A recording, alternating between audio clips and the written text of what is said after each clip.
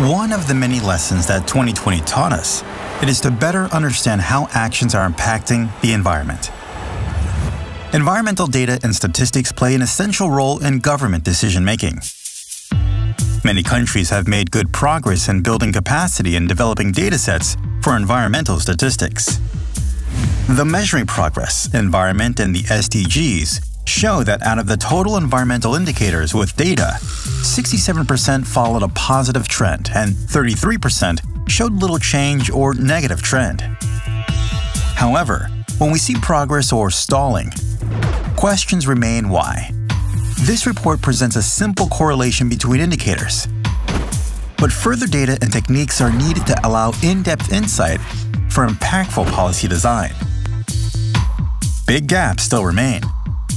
It is essential to fully populate SDGs, build statistical systems, and use fine-grained data to adapt environmental policies to local contexts.